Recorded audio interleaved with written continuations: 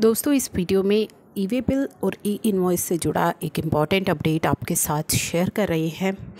तो चलिए ई way bill का जो नया चेंज है इफ़ेक्टिव फ्रॉम फिफ्टीन जुलाई, यानी कि पंद्रह जुलाई से ये इफ़ेक्टिव होगा।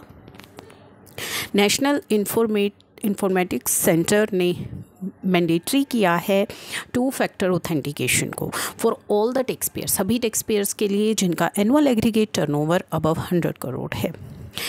इसका क्या बेसिकली लाने का पर्पज़ है? To enhance the security of e way bill at e invoice in addition to the username and password, you have to, now you will have to authenticate with one time password during login authenticate करना होगा आपको OTP के द्वारा.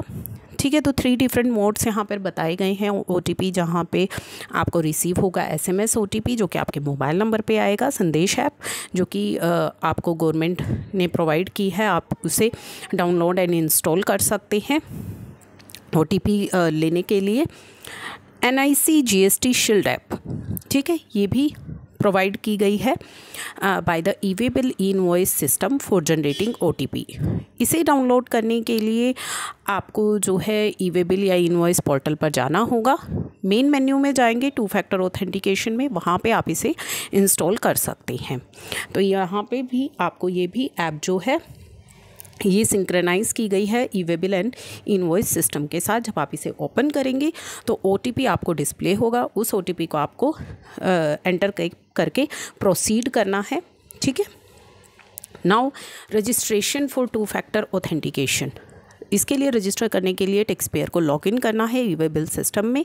Main menu में जाना है, वहाँ पे टू फैक्टर ऑथेंटिकेशन का ऑप्शन आपको दिखाई देगा और अपना रजिस्ट्रेशन प्रोसेस कंप्लीट करना है।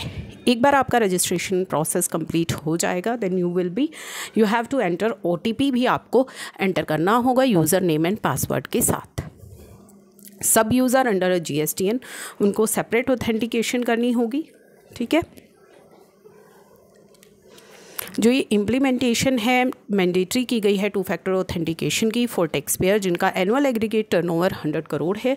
फिफ्टीन ऑफ़ जुलाई से इज़ अ सिग्निफिकेंट स्टेप है for security of e way bill and e invoice system तो tax payer are increase to promptly register कर लीजिए अपने आप को और ओटीपी जो है उसे यूज़ कीजिए।